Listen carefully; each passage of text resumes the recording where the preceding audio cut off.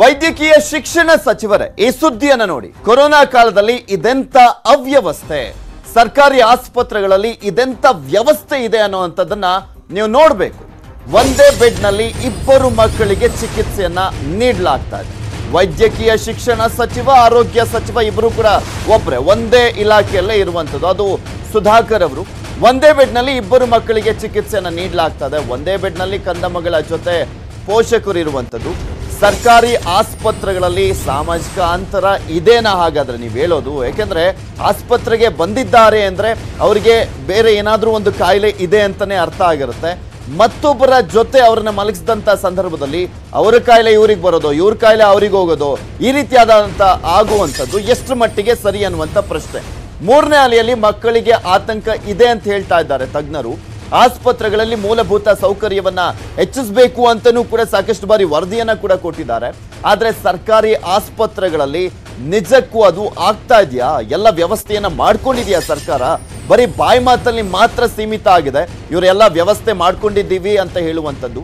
ಸರ್ಕಾರಿ ಆಸ್ಪತ್ರೆಗಳು ಮೂರನೇ ಅಲೆಗೆ ರೆಡಿ ಆಗಿದೆಯಾ ಅನ್ನುವಂಥ ಪ್ರಶ್ನೆಗೆ ಕೆಲವೊಂದು ಆಸ್ಪತ್ರೆಗಳನ್ನು ನೋಡಿಬಿಟ್ರೆ ಏನು ಹೇಳಬೇಕೋ ಗೊತ್ತಾಗಲ್ಲ. ಸರ್ಕಾರ ಏನು ವ್ಯವಸ್ಥೆ ಮಾಡ್ಕೊಂಡಿದ್ಯೋ ಇಲ್ವೋ ಅನ್ನುವಂಥದ್ದು ಆ ಆಸ್ಪತ್ರೆಗಳನ್ನು ನೋಡಿದ್ರೇ ಗೊತ್ತಾಗುತ್ತೆ. ಮಕ್ಕಳಿಗೆ ಚಿಕಿತ್ಸೆ ನೀಡಲಿಕ್ಕೆ ಪರದಾಡುವಂತ ಸ್ಥಿತಿ ಇದೆ. ನ್ಯೂಸ್ ಏಯ್ಟೀನ್ ಬಿಚ್ಚಿಡ್ತಾ ಇದೆ. ಸರ್ಕಾರಿ ಆಸ್ಪತ್ರೆಯ ಕರ್ಮಕಾಂಡ. ನಿಮಗೆ ತೋರಿಸ್ತಾ ಇದೀವಿ ದೃಶ್ಯಾವಳಿಯಲ್ಲಿ. ನೀವು ಕೂಡ ಗಮನಿಸ್ಬೋದು. ಒಂದೊಂದು ಬೆಡ್ ಅಲ್ಲಿ ಇಬ್ಬಿಬ್ರು ಮಕ್ಕಳನ್ನ ಮಲಗಿಸ್ಬಿಟ್ಟು ಚಿಕಿತ್ಸೆಯನ್ನ ನೀಡುವಂತ ಪರಿಸ್ಥಿತಿ ಇರುವಂಥದ್ದು. ಯಾವ ಆಸ್ಪತ್ರೆ ಅನ್ನೋದನ್ನ ಕೂಡ ಹೇಳ್ತೀನಿ. ಆರೋಗ್ಯ ಸಚಿವರು ನೋಡಬೇಕು ಇದ್ರ ಬಗ್ಗೆ. ಯಾಕೆಂದ್ರೆ ಸುಮ್ಮನೆ ತಮ್ಮ ಡಿಪಾರ್ಟ್ಮೆಂಟ್ ಬಗ್ಗೆ ತಮಗೆ ತಾವೇ ಬೆನ್ನು ತಟ್ಕೊಳ್ಳೋದಕ್ಕಿಂತ ಯಾವ್ಯಾವ ರೀತಿಯಾಗಿ ವ್ಯವಸ್ಥೆ ಇದೆ ಅನ್ನುವಂಥದ್ದನ್ನು ಕೂಡ ಅವಲೋಕಿಸಬೇಕಾಗುತ್ತೆ, ಪರಿಶೀಲನೆ ಮಾಡಬೇಕಾಗತ್ತೆ. ಇದು ಸಾಕಷ್ಟು ಆಸ್ಪತ್ರೆಗಳ ಪರಿಸ್ಥಿತಿ.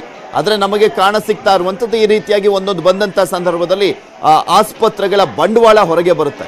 ಇದು ಸರ್ಕಾರಿ ಆಸ್ಪತ್ರೆಯ ದೃಶ್ಯಾವಳಿ. ಇದು ಬಳ್ಳಾರಿ ಜಿಲ್ಲೆಯ ವಿಮ್ಸ್ ಆಸ್ಪತ್ರೆ ಕರ್ಮಕಾಂಡ. ವಿವಿಧ ಕಾಯಿಲೆಗಳಿಂದ ಬಳಲ್ತಾ ಇದ್ದಾರೆ. ಮುನ್ನೂರಕ್ಕೂ ಹೆಚ್ಚು ಮಕ್ಕಳು ಜ್ವರ, ಉಸಿರಾಟದ ತೊಂದರೆ ಸೇರಿದಂತೆ ವಿವಿಧ ಕಾಯಿಲೆಗಳಿಂದ ಬಳಲ್ತಾ ಇರುವಂಥದ್ದು ಬಳ್ಳಾರಿಯ ವಿಮ್ಸ್ ಆಸ್ಪತ್ರೆಯಲ್ಲಿ.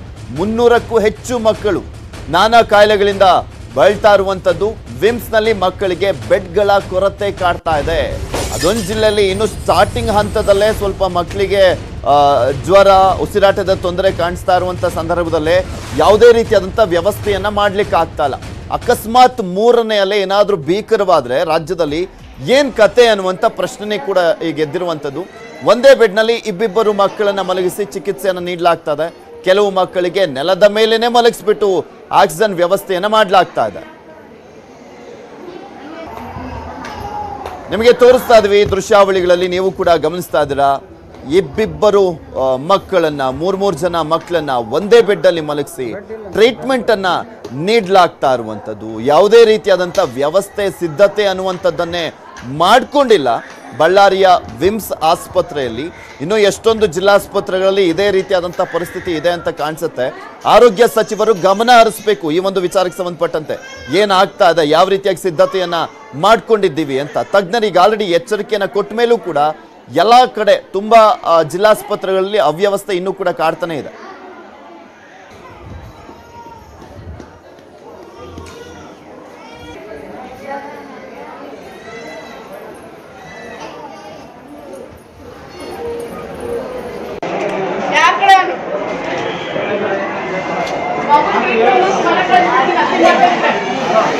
ಹೊರಗೆ ಕಳಿಸ್ಬಿಡ್ತೀನಿ ಮಗುನ.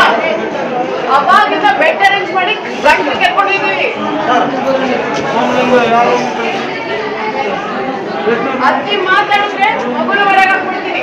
ಅರ್ಧಾಗದಿಲ್ಲ ನಿಮ್ಮ ಮತ್ತಷ್ಟು ಸುದ್ದಿಗಳನ್ನ ನಿಮ್ಮ ಮುಂದೆ ಇಡ್ತಾ ಹೋಗ್ತೀನಿ ಆದ್ರೆ ಅದಕ್ಕೂ ಮುಂಚೆ ಒಂದು ಸ್ಮಾಲ್ ಬ್ರೇಕ್